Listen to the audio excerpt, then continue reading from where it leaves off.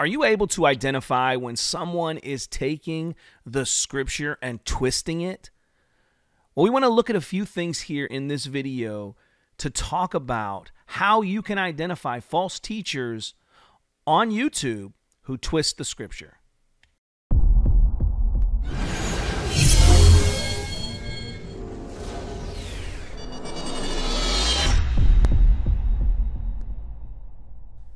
Ricky Gantz here with G220 Ministries, and I want to welcome you back to this series on how to identify false teachers on social media.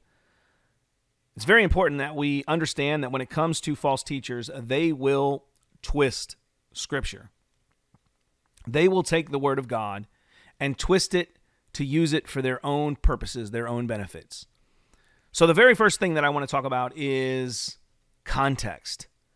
When looking to identify whether or not one is a false teacher, you have to ask yourself are they taking passages out of context? Context is key when it comes to interpreting the Word of God. Uh, the first principle in, in hermeneutics is context, context, context. Always look to the context. You have an immediate context, a broader context. And so you're always looking to see is this passage that is being taught being taught within the context in which you find it? Or are they using it out of the context to twist it for their own purpose and again, benefit? One of the passages that comes to mind when I think of this is Matthew chapter 18, where this passage is dealing with church discipline.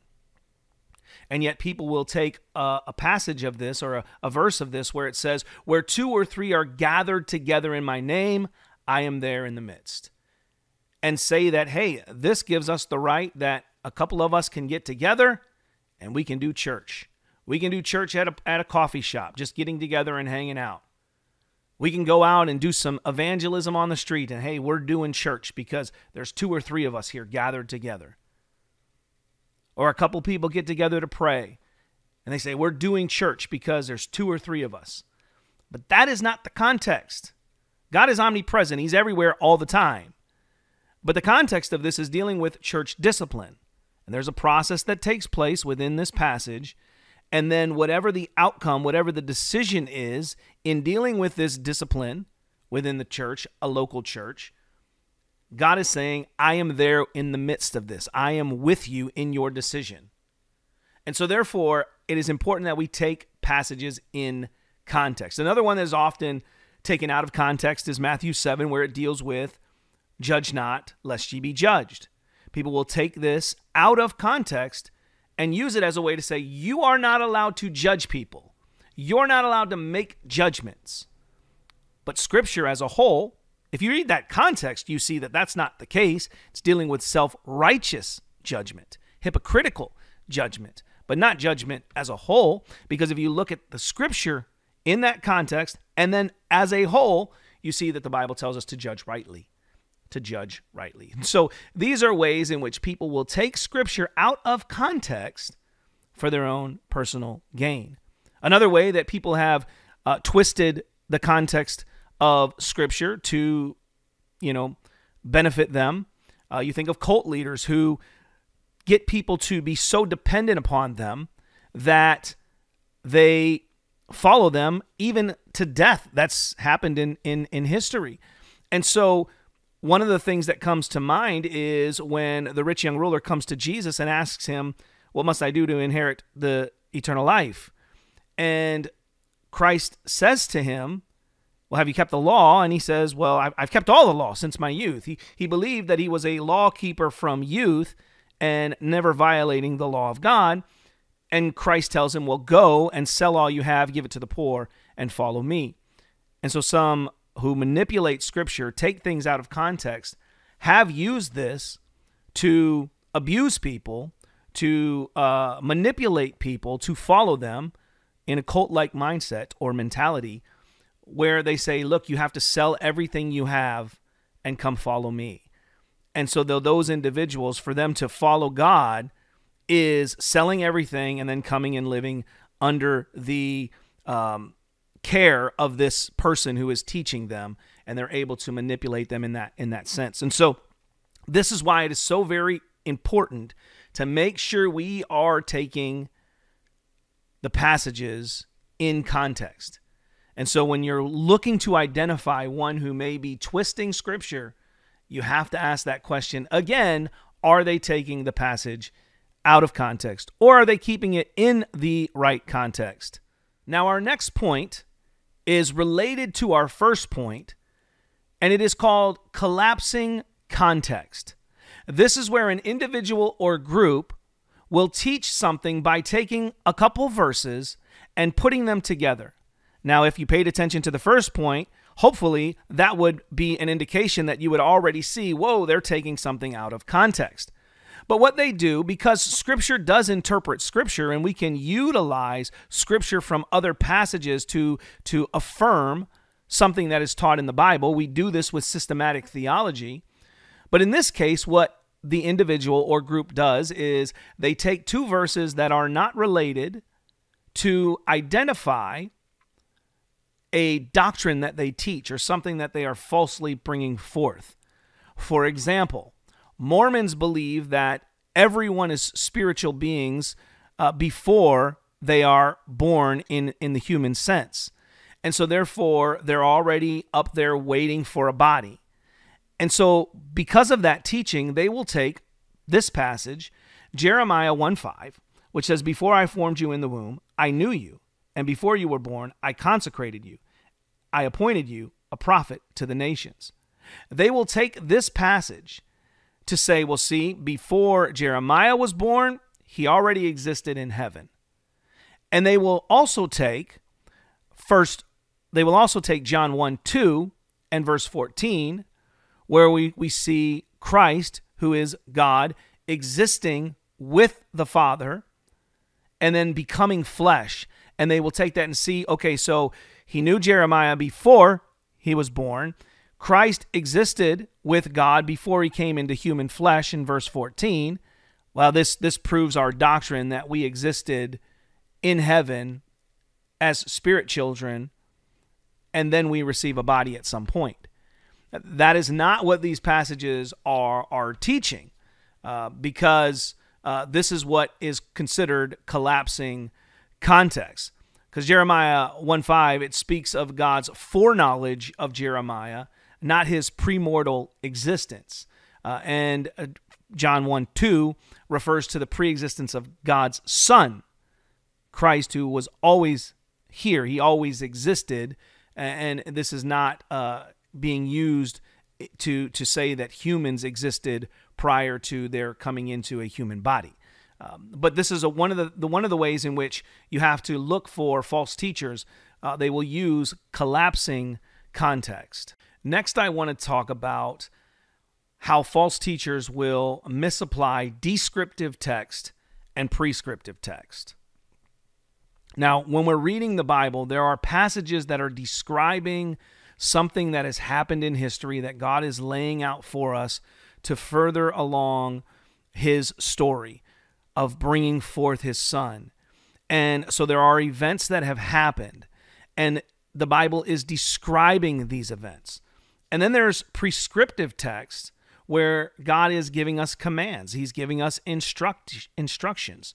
So that's exactly what these are. Descriptive text are those that simply describe what is happening without giving a command or instruction to us for how to behave and, and live. Whereas prescriptive, as I said, these are texts that are instructive. They give us commands on either what to do or what not to do. And so, what false teachers will do is they will take descriptive text and make them prescriptive. And so, this is one of the areas in which you want to watch when identifying false teachers. Watch out for inaccurate quotations. This is where people will quote passages from the Bible, scripture, but they will do it inaccurately. For example, have you heard people suggest that money is the root of all evil? Well, if you look at that passage, it's not that the money is the root of all evil, it's the love of money is the root of all kinds of evil. And so it's putting that emphasis on the the money not being the evil object, but the love of it. so much so that one makes it an idol. It's the love of money. And so, are people quoting the passages accurately? Because it's very important. Jehovah Witnesses will take John 1 1 and they will inaccurately quote it. They actually insert into it a God rather than the fact that Jesus is God. And so in the beginning was the Word, and the Word was with God, and the Word was God in the actual scripture. But in theirs, in the beginning was the Word, and the Word was with God, and the Word was a God. They add that. They do not quote it accurately, they add to it. And so inaccurate quotations is another way in which we want to look to identify false teachers. The next point that I want to cover that you need to watch out for, be on the lookout for, be alert, is what is called a biblical hook. Now, if you've ever gone fishing, you know you, you put the bait on the hook, you throw it in the water, and once you get a bite, you, you reel it in because you've caught that fish. Well, this is what false teachers do. Uh, false teachers will use a biblical hook.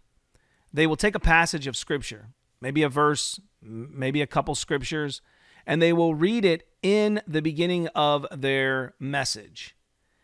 But if you listen sometimes with these false teachers, is their message has nothing to do with what they've thrown out there. Again, they twist it, they take it out of context, but they used it as a hook to reel you in and then go completely in a different direction, not even taking that passage and applying it to what it is actually stating within its context. And so watch out for those who use those biblical hooks. They throw it out there as a way to bring you in. Oh, he's using scripture, so therefore it must be must be biblical. But listen to how they apply their message to that passage in which they are quote unquote preaching from.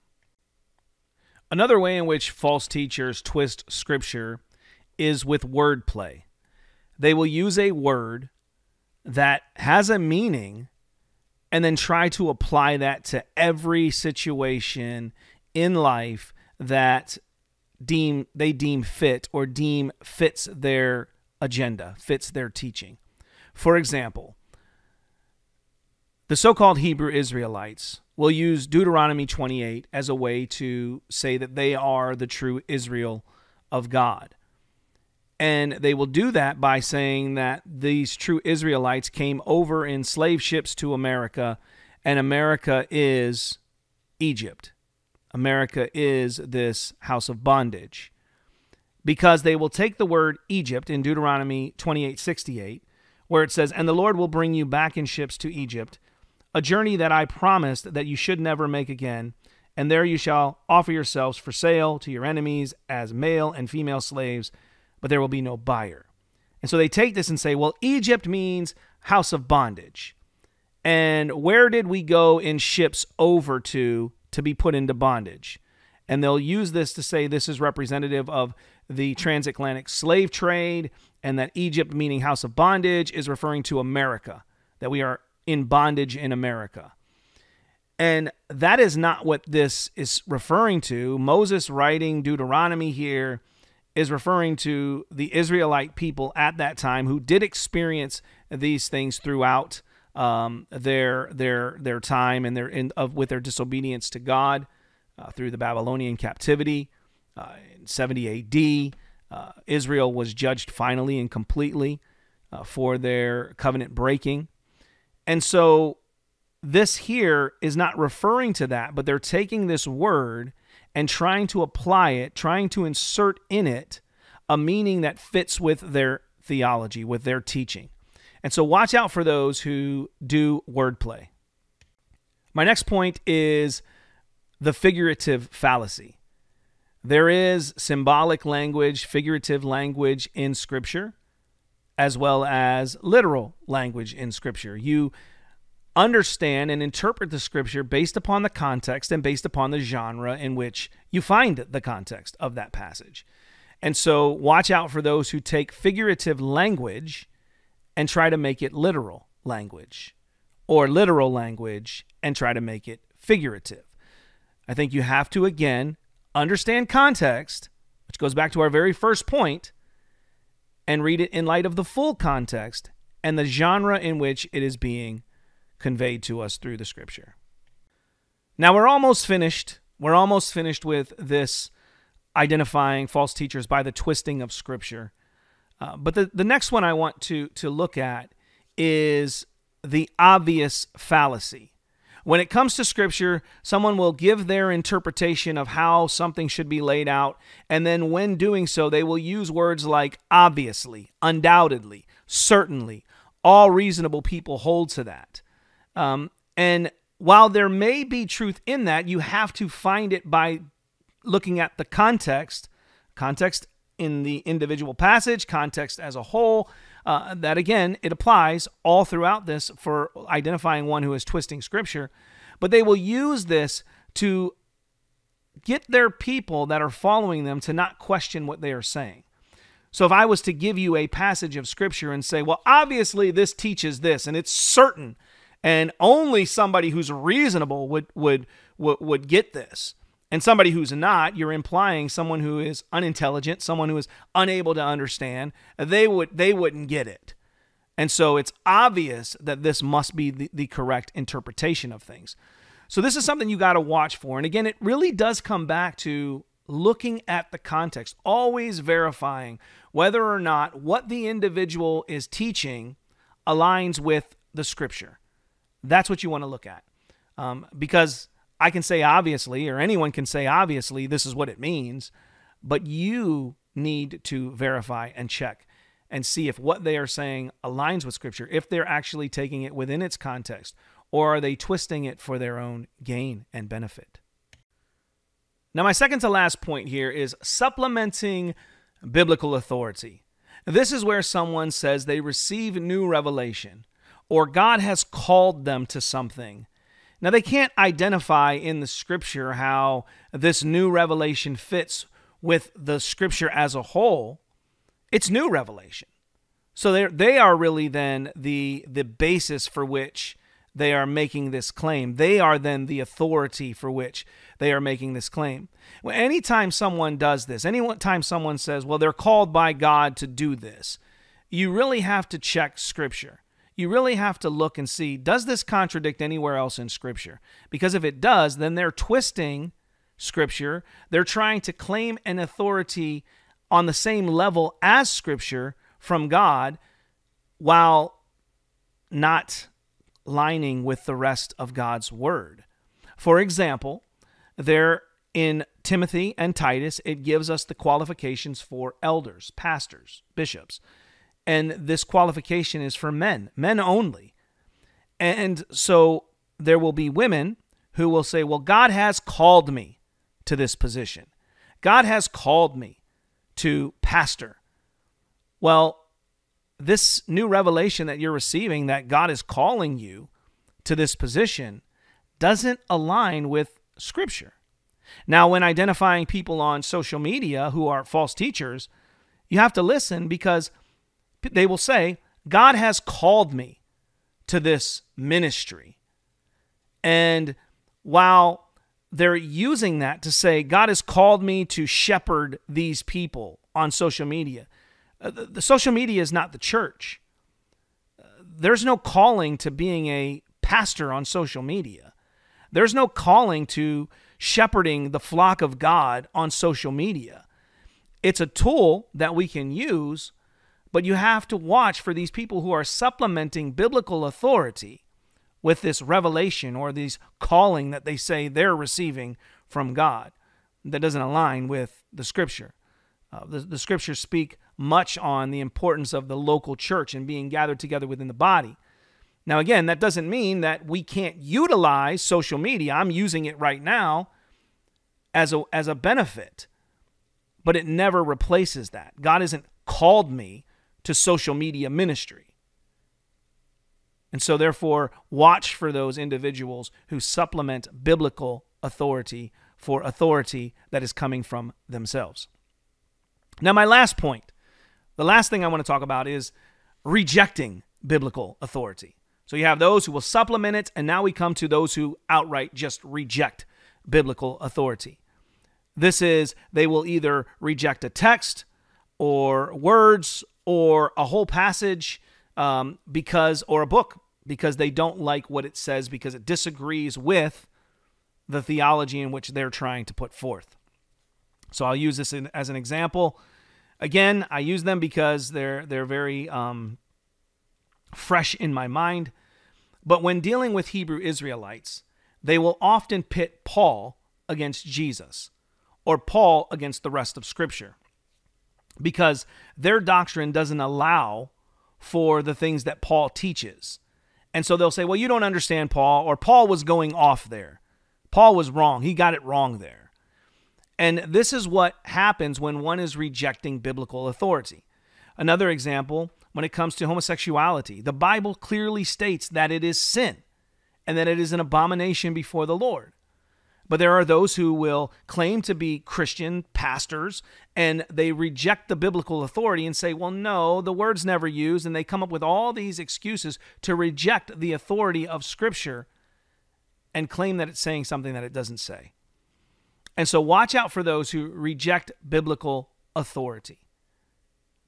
Now, I hope these were helpful in helping you identify those who are twisting the Scripture or rejecting the scripture because it is so vitally important that we understand uh, the scriptures rightly understood within its context and watch out for these signs of those who would twist it for their own purpose, for their own benefit, and their own gain.